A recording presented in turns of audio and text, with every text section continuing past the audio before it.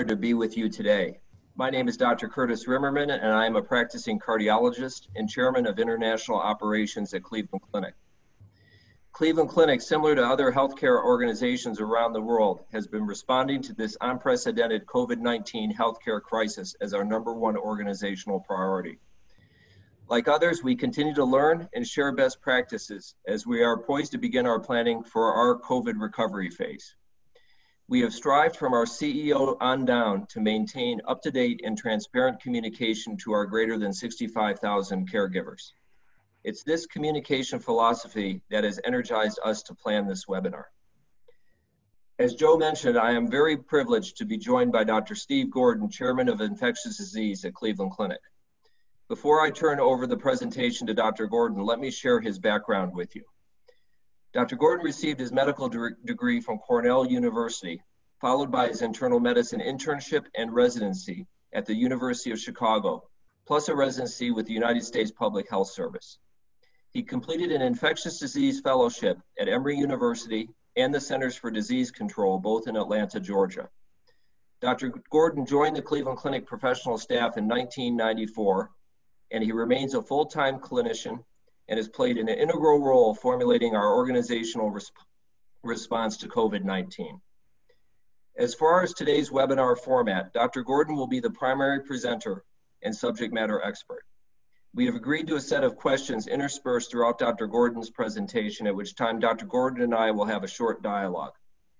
It's my hope you find this interactive format valuable. We've already received a few audience questions. I will do my best to integrate those as our time allows. Steve, thanks so much for participating. Let me turn things over to you. Well, thank you, Kurt, and uh, good morning from the States. And Joe, thank you for setting this up. Can everyone hear me okay? Is uh, volume okay? in the slides. So again, my task, as uh, Dr. Rimmerman said, is to give a little bit of a background and hopefully a little bit of insight into our response to COVID-19, um, and also that this is a ongoing learning process for us all. Um, to start, I just want to acknowledge throughout the world all the, the COVID heroes that we call them. Uh, these obviously include our patients afflicted with the infections, our providers on the front lines that are taking care of these patients, the public, which has really responded so well throughout the world, I think, and of course, the families of the providers and the patients. So again, the first component, what I'd like to do is, is give a little bit of update on the COVID-19 epidemiology. Then we'll move to preparedness uh, in meeting the demands for the clinical burden. And then, of course, the, the issue about how this is affecting us, not just as a healthcare organization, but individually, what I call kind of empathy in the era of the pandemic, and then hopefully moving toward the way forward in recovery. Um, this, to give just an example, COVID-19 is caused by a new virus. This is um, SARS-CoV-2 to distinguish it from SARS-CoV-1, which we all remember from 2003. And it truly is a newly emerging pathogen. That is one that we have not seen before. This is in contrast to other types of emerging or re-emerging diseases, such as measles that we saw last year, and unfortunately, other issues that we talk about, such as deliberately uh, emerging, uh, such as the anthrax attacks occurring in the homeland back in um, 2001. Now, I don't want to give a huge background to disease emergence, but if you look at all these boxes, it's obviously interrelated. And probably the most common theme is human activities. Uh, as we know, this virus uh, is what we call a zoonosis. That is a disease of animals coming from bats. Uh, we still don't know how the intermediate mammal that occurred, but most likely this occurred in China and most likely associated uh, with that open air market.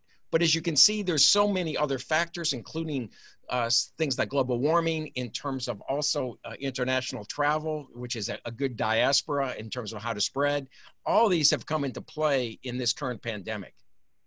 Now, this slide is already out to date. It was made a few days ago, but um, again, the estimates of cases now worldwide is 2.5 million, and we all know that's a gross underestimate uh, based upon true cases, and with over now close to 200,000 deaths. The hotspots have continued to be in parts of Italy, but of course, New York City and the States is now what we'd call the current epicenter of transmission and also of cases. Uh, in the United States is now upward of probably a quarter of a million cases and now reaching 42,000 deaths. In terms of just definitions, this electromicrogram shows the kind of the protein knobs on the outside of the envelope, which do form a crown shape, hence the word corona and how this genus gets its name. Uh, this is one of seven coronaviruses that affect humans. Uh, the other four are very common causes of the cold. And again, the virus itself, as we said, is severe acute respiratory virus coronavirus 2 or SARS CoV 2 to distinguish it from SARS CoV 1. Now, this curve is uh, kind of shows a little bit of a difference in terms of the prior two coronaviruses, which caused epidemics in this uh, in this current century. Uh, if we look at uh, the current graph, and this is again was early in the epidemic, this is really exponential growth in cases for uh, SARS-CoV-2, uh, and you can see the time for the first 40,000 cases really uh, was relatively small. Contrast that to SARS-CoV-1, and one can see that in terms of it took about eight months to infect 8,000 people. Uh, again, the epicenter of that went from China into North America and parts of South Korea. And contrast that to the relatively small number of cases of MERS, that is the Middle, uh, Middle Eastern Respiratory Syndrome virus, which uh, took about a, a 12 months to infect 108, and obviously is still prevalent in parts of Northern Africa in the kingdom. But again, this is just reflects in terms of the spread of our current virus in pandemic with very, very much uh, greater velocity and far greater reach. The other interesting thing we talk about in this current epidemic is what we call the genomic epidemiology. So, as we know, the viruses can be cultured and then can be sequenced. And because it's an RNA virus, there are mutations that occur.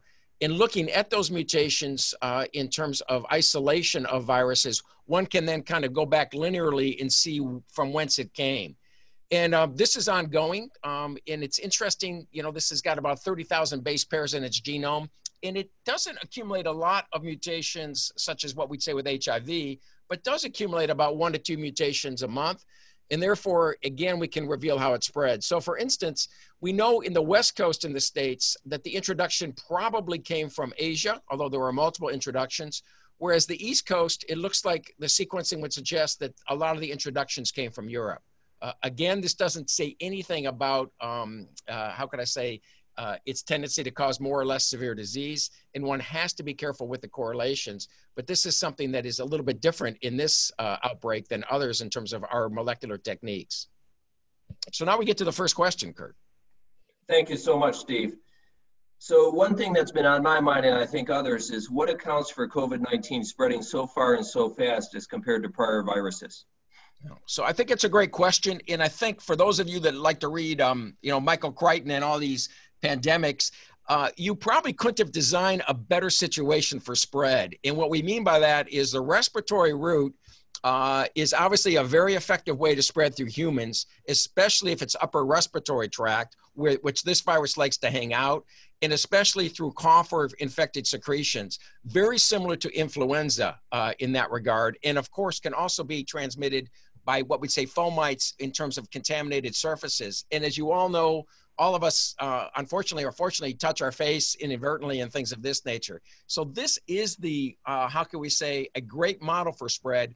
The other thing is, in terms of the pathogen point of view, although yes, people die from COVID-19, most people don't. And then the short incubation period allows for transmissions.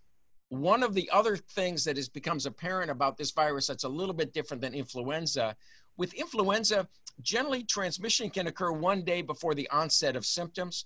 It's apparent that with COVID 19, that is, with this virus, it's more likely two days before. And similar to influenza, the highest viral loads are early on, that is, in that what we call pre symptomatic phase or early on. And that's an effective way, again, for transmission uh, from person to person. Thanks very much. Let me ask another question from our audience here.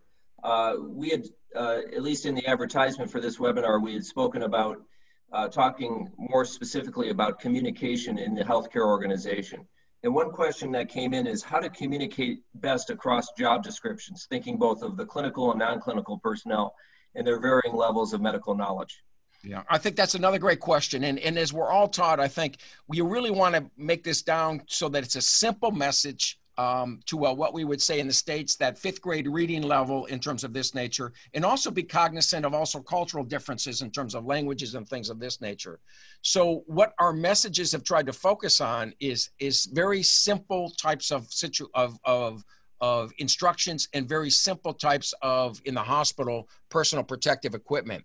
The caveat on this is we are in 2020. Information is so quick that all of us have been somewhat reactive. In fact, we are having to react to quote unquote pre publications, that is, things that are being put online even before they're peer reviewed. And I think that makes this one much more challenging for organizations.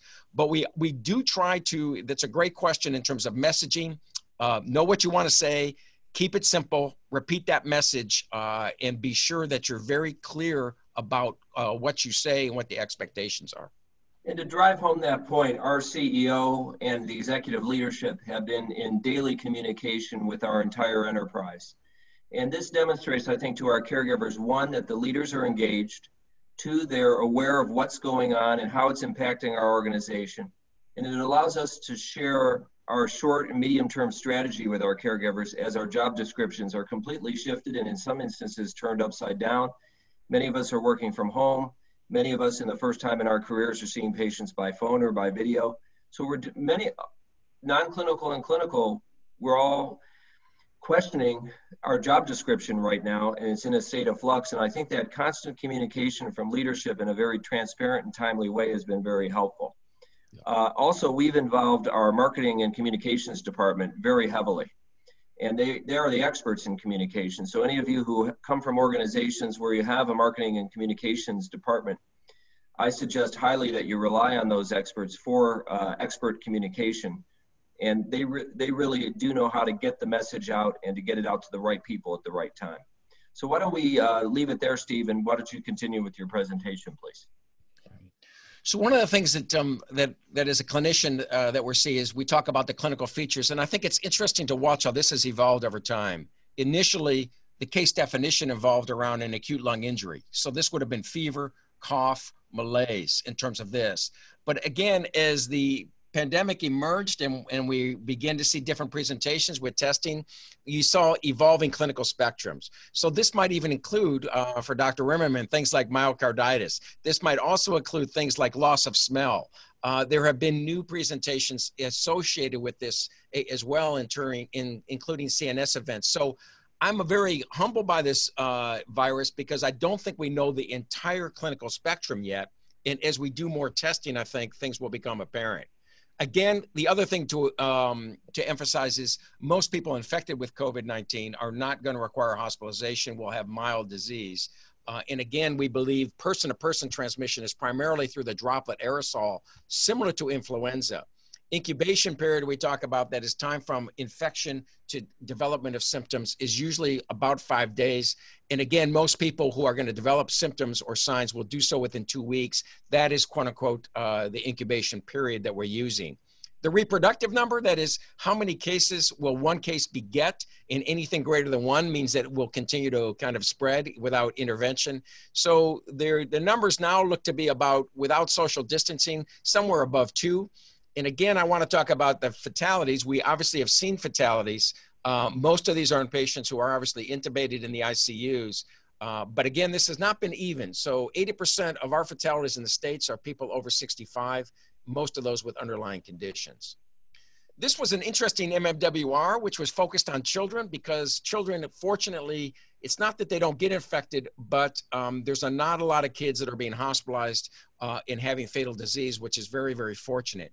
But if you just look at this kind of uh, fever, shortness of breath, and cough for both is obviously present, much more in adults. But look at some of these other signs and symptoms runny nose, headache, abdominal pain, diarrhea. And hence, I would say the myriad of potential presentations, which aren't always going to be uh, the classic uh, fever and cough, and as these CTs are showing, uh, lung infiltrates. Um, again, fatalities, uh, we talk about, it's not that healthy people can't get sick. And of course, we all know of some patients that were quote unquote healthy who unfortunately have died, but that is the exception.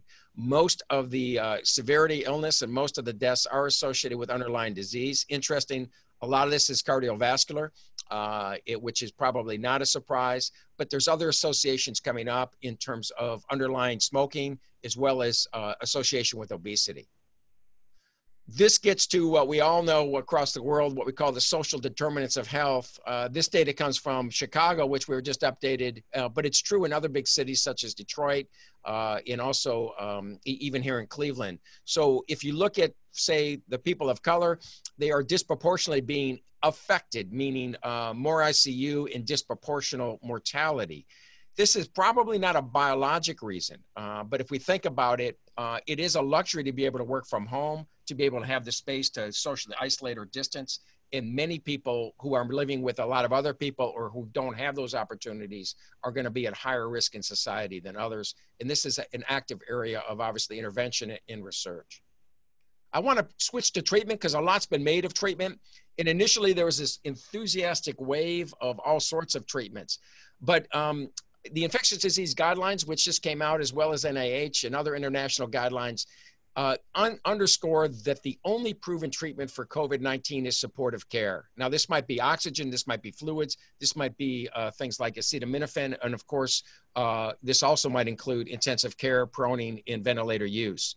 In terms of antivirals and other medications, as you know, there was a lot of, of enthusiasm uh, about hydroxychloroquine uh, with or without azithromycin. Uh, studies are now showing, of course, there's probably more harm than good. Um, and this people are backing off of this, I think, appropriately. Remdesivir was an antiviral drug developed for Ebola. There was a compassionate use trial published in the Journal a couple weeks ago, which showed an association with with okay outcomes. But again, we're all waiting for the randomized control trial, eh, which should uh, hopefully be reported by next month. In terms of vaccinations, this is probably our route to what we'd say a protection. Uh, and again, a lot of, of activity in terms of vaccines, but we don't anticipate vaccines going into the public arms until late next year. This brings us to the next interlude, Kurt.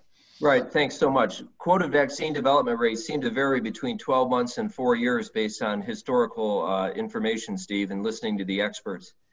Given the worldwide focus of uh, developing a vaccine, do you envision this being perhaps a shorter timeline than, for instance, 12 months?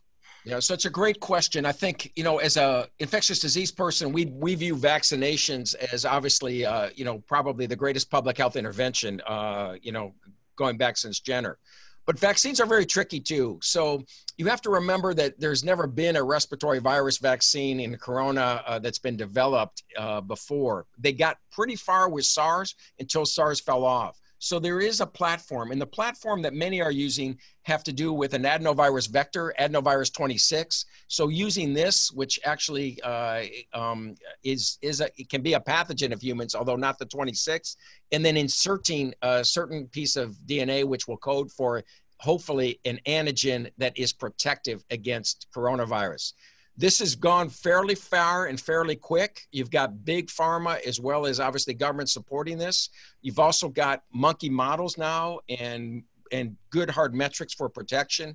And more importantly, with this model, you also have scalability. So the ability, um, if hitting successful targets and safety targets, to really uh, amplify this up to potentially a billion doses um, and so scalability is, is important. Safety is obviously very important.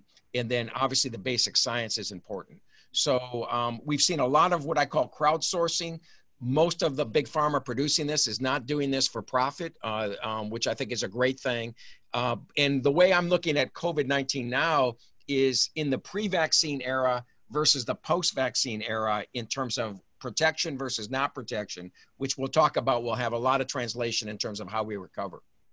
So, any prognostication in terms of when you think a vaccine might be available, or just an, an impossible question at this point? Yeah, so I think um, the phase one trials, as we said, are ongoing. I think uh, the next big round will be probably early in the fall in terms of phase two. Uh, if they hit those targets, then I would imagine you're going to see ramping up in terms of phase three trials. And again, I would anticipate um, if those are successful, that it will start reaching the public arms, uh, hopefully before next uh, the flu season in, in 2021. Okay, well, thank you. And then another question that came to my mind: Why do symptoms vary so widely amongst patients? Yeah. So that's a great question too, Kurt. I think part of this is is the clinical spectrum. We were all focused on uh, respiratory symptoms up front. Um, one thing about a pandemic is uh, it allows you then to kind of broaden your scope a little bit and look for other associations, especially as testing is there. The other thing to remember, and this gets back to spread, is because this is a new virus, a new pathogen, we don't have any pre-existing immunity. Um, and so you're really hitting what we'd say a very naive human population. And so with biology, we, we would expect a variety of presentations, just like we see with other respiratory viruses. Thank you. I just have a couple questions online. I want to acknowledge our audience. Real quickly, what is the risk of aerosol transmission of COVID during robotic surgery? Yeah, so I think the issue about aerosolization, aer- aerosol transmission are, are very different all respiratory viruses can quote unquote be aerosolized, but I really do believe that COVID 19 is behaving as droplet contact, not what we'd say aerosolized transmission that we think about with measles, that we think about with tuberculosis. For all of our surgeries now, um, again, because of the airway, uh, people are considering that now a potential aerosolized generating procedure. So N95 respirators are being used by our anesthesiologists. But again, I think it really depends quite frankly, for robotic surgery, which organ you're you're you're kind of dealing with. In at the clinic, we've assumed our from our ENTs that anything going into the upper respiratory tract, ENT surgery, is percent, potentially aerosolized generating. Things like going into tissue, bone, and things of this nature would not be considered to be aerosolized generating for COVID 19.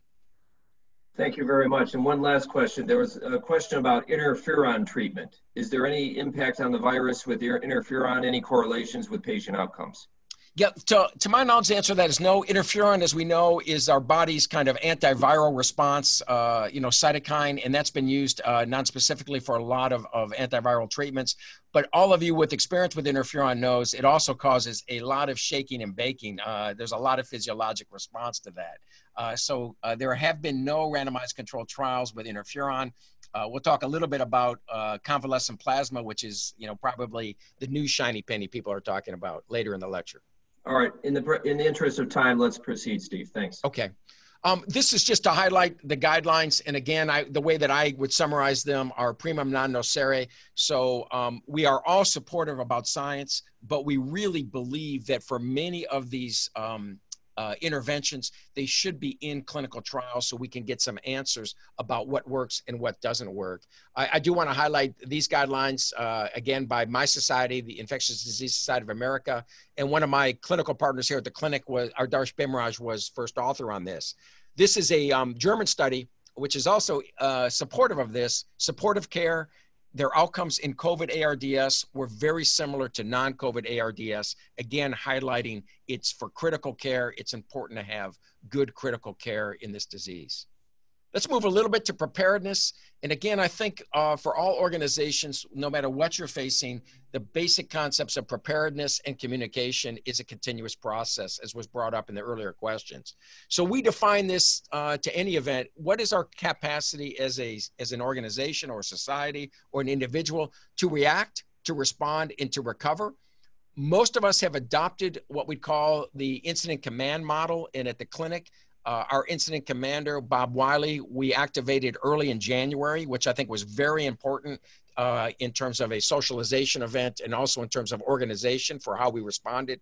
And then, as was pointed out earlier by Dr. Rimmerman in the questionnaire, you want to be proactive in your communication. Uh, admittedly, a lot of times I've felt, or you know, you felt you're reacting, especially in the the Twitter environment.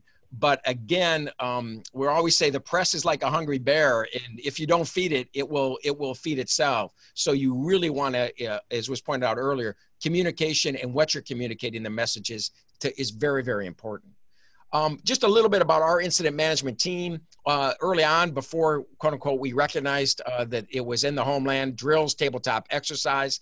I learned a ton about supply chain review. Um, again, most healthcare in America is kind of in a just in time situation in terms of occupancy, in terms of our, our supplies. And so this was really something that I think all organizations are struggling with and struggling with. Education and retraining. This gets to, again, your workforce, which is your most important asset in terms of as we were preparing for a possible surge. And again, back to the communication, we had a one-stop intranet toolkit, which was a living document so that anyone anywhere can quickly, with one click, try to get some uh, up-to-date answers. Uh, and again, uh, anticipating potential surge capacities for treatment, which would have included ventilators, propofol, and things of this nature. Um, this is an example. I think obviously everyone has their own intranet, but now it's front page for all of our providers, uh, still actively updated, uh, which uh, obviously uh, is extremely important for all of us as we move forward. Um, the other thing is, I think, and this comes to all of you with the business background from Deming, you know, you really can't manage what you can't measure. And this, as we're moving toward what we call recovery, is now top and center. So again, we all know that there were some issues in the states with um, the CDC test, and we don't try to look back. Uh, that will be the postmortem. We also learned, if you look at South Korea, very quick to stand up testing. We both had the first case at the same date, but they got to 350,000 tests where we were still at 200 within the first four weeks. Um, we're talking now about home testing or self administered test. Actually, if you go online now, uh, there is an FDA product in the States uh, that you can do that. And then again, if you look at the Emirates, some airlines are actually requiring but providing testing before embarking. So this to me is is the next step. It's not the only piece of recovery, but it's very very critical. Don't want to go through all our processes, but again, you want a menu of testing uh, in terms of for the hospital, but also for the public. And again, as we talked about management and measuring, so there is a, a nice CEO dashboard of our COVID, what we would say um, disease burden. At one point, we actually were responsible for 30% of the testing in Ohio, which doesn't mean that we were doing too much testing. It just uh, emphasizes the fact not enough testing going on in the states. Uh, discharge patients, and of course, keeping track of our caregivers uh, with COVID 19. This is a snapshot to show, you know, if I would have looked a month ago at all of our, our hospitals, how many people had a COVID test, it probably would have been 1%. Last week, when we did that survey, you can see over half the patients in our hospitals now have had a COVID test, not COVID positive. And I think as we're moving forward in the testing process in terms of recovery, this will probably reach universal testing. Many of you might have seen the report out of Columbia where they tested all their people coming in to deliver babies and found 13% of the positives were quote unquote asymptomatic. again, emphasizing the movement now towards uh, testing almost of all inpatients in emergency department admissions. This leads so, us to the next. I think we're hearing a lot about testing, tracking, and tracing. Uh, in, and every, all the experts I hear say this is integral for recovery. Do you agree with that? And also, if there is a second surge in the fall, how, how is this integrated with that? So the, it's a great question. I think um, all of us would agree that um, as people begin to move forward, one of the things that are going to help build confidence is the ability to be able to test um, workers or anybody that feels like they may have symptoms because it's kind of like saying oh my god we got covid in the factory. That could actually shut things down. So access to testing is extremely important. But as pointed out it's just not the testing. We also need a test management strategy. So that means if somebody let's say i am positive aside from obviously going home, how am I going to be managed in my house? The other household members there to be sure they're instructed in appropriate quarantine. Myself to make sure that I can stay isolated. That is to say that my family's taken care of, that I get food in terms of this nature. So it becomes more of a social kind of construct, something that is different for, for places like the United States and then again using the, this data to kind of swarm in and and again until we get the vaccine to do what we'd say enhance social distancing to prevent spread. Very complicated on one angle, but again, testing is necessary but not sufficient if we're going to move forward with this. Thank you. And one other question from the audience, which I think is uh, very uh, applicable here. Have you adapted the traditional incident command model to sustain on a more long-term basis? So another great question. You know, incident command, as you know, is is set up to react to a, a, a certain situation. We are now moving towards actually standing down the incident command this week and changing some of the things into operations because now I think all of us have moved from responding to COVID, reacting to COVID, to now what I would say living with COVID. And that's a different operational model And so, um, appropriately, I think we're in the next kind of the phase two now, standing down the incident command and driving some of these new, what we would say, um, pathways for opening up in the era of COVID, realizing that we're going to be living with COVID uh, most likely uh, for the next 18 months or so. And last question at this point, what have been the barriers in the U.S. to testing more people? Is it a matter matter of reagent availability? So I think that's a great question. You know, um, there was just a nice document released by the Rockefeller Institute yesterday that I perused, and they talked about the same supply chain issues. Um, so the companies that produce these products, uh, the Roche, the Abbotts, and things of this nature, obviously have a certain amount of capacity, and it's the same supply chain issue. So some of that now is being directed to help them build more machines quickly. Uh, and looking at it as a, as a supply chain issue, as well as driving new technologies and also the report mentioned is diverting some of our techniques for nucleic amplification testing to COVID testing away from potentially other things that we're using it for. So again, becomes very complex, but it all goes back to supply chain. And in this article, interesting, currently the United States is testing a million, a um, million tests a week. Um, they believe we need to get up to 30 million a week. Um, and so that's going to take a little bit of time if we really want to, what we'd say, hunt COVID as opposed to having it chase us. All right. Why don't we continue, Steve? Thanks. Okay.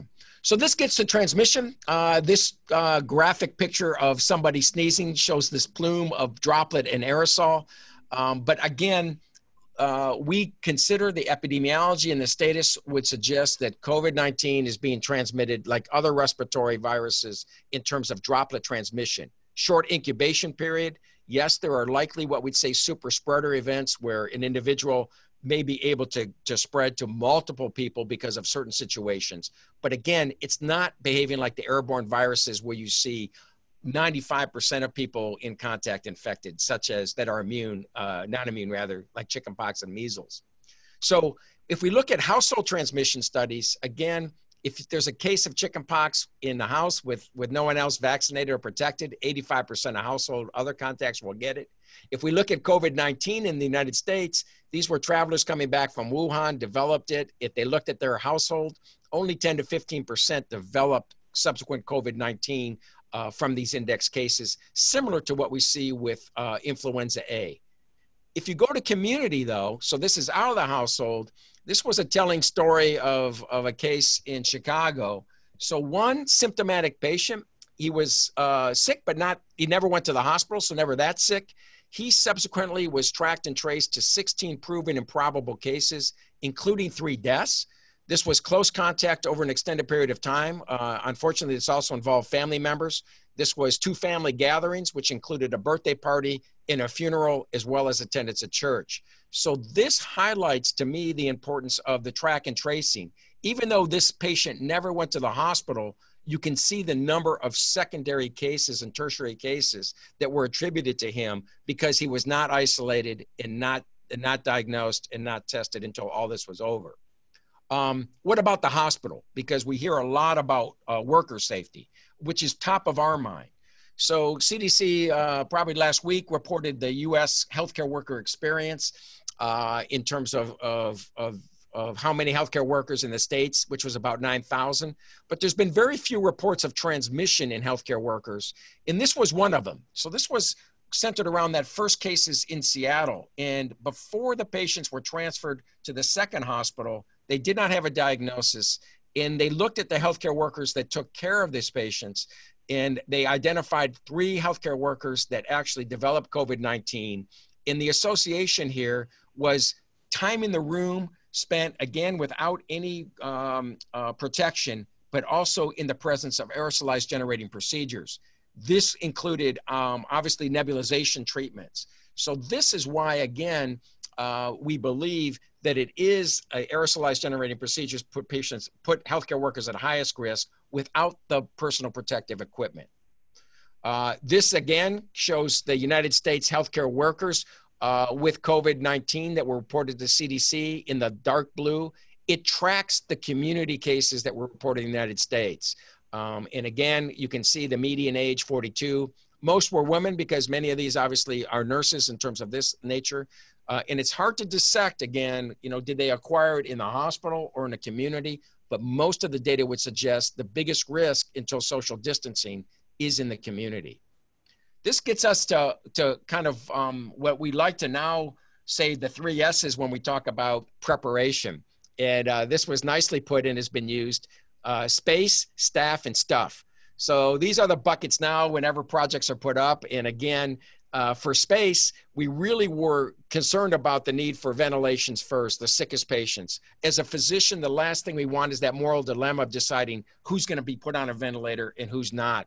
Staff, this is obviously uh, our, our greatest asset in terms of our intensivists, but also redeploying in, in uh, other things like orthopedic surgeons to, to, make them a part of these teams, uh, not to make them intensivist overnight, but again, in this pyramid model with supervision, we can all become learners. And I think that was important. And of course, focusing on the stuff, the ventilators, the personal protective equipment, uh, and things like sedation equipment education we all love to learn and, and this has been a learning process and then again uh, uh, also starting some registries research communication as we talked about and also recognizing about um, staff uh, wellness in terms of how this affects people this is an example of, of our icus which probably mirror others a lot of innovations you can see the dialysis machine is out of the room the ivs are out of the room the ventilator is actually also uh, out of the room uh, and this is to minimize the potential contact of risk of healthcare providers with these patients. The beautiful thing is,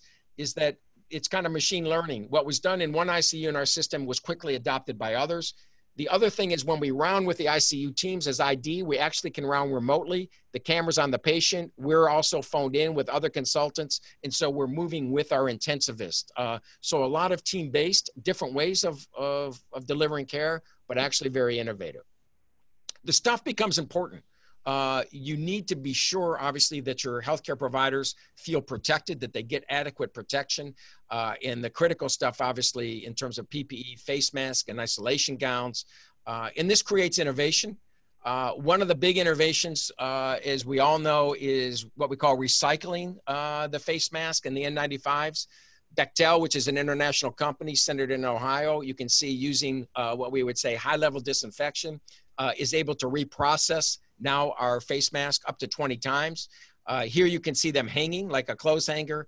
Uh, this is to make sure that the um, that the disinfection is able to get to all the surfaces. Uh, the other thing we learned is there is a rejection rate because if the masks are beat up or torn, but also if there is makeup or lipstick, that's another reason for rejection. So that's another reason why we're educating uh, both men and you know it's it's we don't we don't discriminate there is to try to not use uh, makeup in terms of uh, when you're using your N95. And finally, um, that surge hospitals. Uh, so this has been interesting. We always want to plan for the worst, uh, hope for the best. Uh, this is our surge hospital, which is our new medical education building. The first floor has been reformatted. Although no patients have been in there, uh, this can is ready to now handle a surge of patients if needed. Um, I want to pivot now to universal masking. So before COVID 19, the CDC was not a proponent of, of using masking uh, in terms of healthy people. They have pivoted on this. And I think this is something that's very important because I think moving forward, this is a non pharmacal intervention that will be very, very important. And the reason for this, I, I think, um, is twofold. Um, if you look at the data here, and again, this is uh, the issue about the trajectories of coronavirus in countries where what we would say cloth masking in public was not uh, a big uh, proponent versus those that are. And this is mostly Asian countries, including Japan. Uh, there's a big difference in terms of the projection rates. For many countries like Japan, this has been a part of their culture for flu season. It's part of what we would call enhanced respiratory protection, hand hygiene, taking the shoes off before going to the house, and wearing a mask. This includes children as well as adults. Um, and again, this is really altruistic in some ways. If you think about it, that sneeze, that is now going to be a lot of those particles will be protected or my cough uh, from from being distributed out to others, not just our patients, but also obviously our colleagues. Uh, this is my better half with her home sewn mask. Uh, obviously, we've got cloth masks now. It's not just for the uh, to help us with social distancing. It also prevents us from touching our face. Uh, and as I said, uh, this is this is a good thing for both patients uh, as well as caregivers. And uh, another interesting note: we have a strong Amish community, uh, and they made produced very rapidly. I think over 100,000 masks for our healthcare providers and our patients. Again, it's not personal protective equipment. It's not a panacea. We want to continue to use hand hygiene as well as cough etiquette. But this is the playbook moving forward as we still go through COVID, but also into influenza respiratory season in the fall.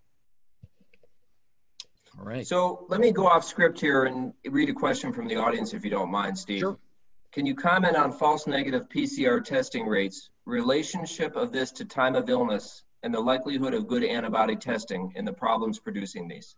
Okay, so those are all great questions and unpacking. So I think we talk a lot about, um, you know, the test sensitivity and specificity. As clinicians, we don't think about sensitivity and specificity. We think about predictive value, positive and ne- negative predictive value, meaning what is the likelihood if it's a positive test that the person actually has the condition, and if it's a negative test that they don't have that condition? A lot of this depends on the prevalence, that is, the amount of disease you're testing in the population. So when we look at our different test strategy, uh, our capacities, it is true, for instance, our PCR based, based technology is much more sensitive um, than non PCR based technology, such as the Abbott test, which is the 10 minute test. But remember, is that all our PCR technology has at least two targets that it's going after. Um, so they are very sensitive tests in this regard. The Abbott, on the other hand, is not as sensitive. Uh, on the other hand, you get a quick result. But the negative predictive value of the Abbott is still very valuable. So I think we look at testing in terms of the uh, in terms of the sequencing. So as a infection preventionist, I would not necessarily want to take somebody or determine isolation based on the Abbott test. But as a clinician in the outpatient, I'm very comfortable using the Abbott test if that's negative uh, to likely say the patient does not necessarily have COVID 19 and it's not going to change my interaction. So I think testing uh, is going to continue to evolve in this regard. We're also going to see, I think, self administered testing. Uh, but again, I, I think we have to be, I'd rather have a test than no test in that regard. And, and that's where things are moving. The antibody test, I think, is a different story. Uh, I will emphasize that, but it's safe to say uh, that for the RNA viruses such as COVID 19, as opposed to DNA like hepatitis B, we have never had a, a test, a serologic test, that is valid for individual immunity. It is much more useful to determine population exposure. And so we need to distinguish the two. I know that it's been seen, let me get a point of care test to determine whether I'm immune or not. That is not going to happen. Uh, it's not going to happen in the near future. On the other hand, we're beginning to see seroprevalence surveys done across the world. The most recent one reported from California yesterday, which showed that probably between 1% and 2% of the population have been exposed to COVID 19. That's different than being immune. That's probably 30 times the number of cases reported, which is probably not a surprise. But this is on the level of influenza. So I just want to make that clear. I would not bank on immunity to a point of care individual test. I would bank on seroprevalence surveys to in, in to, to tell me how how much of the population's been exposed. With that being said, Steve, if a patient has confirmed COVID, uh, ultimately recovers in a very satisfactory manner, can they be considered immune and can they re-engage in normal social activities and return to work?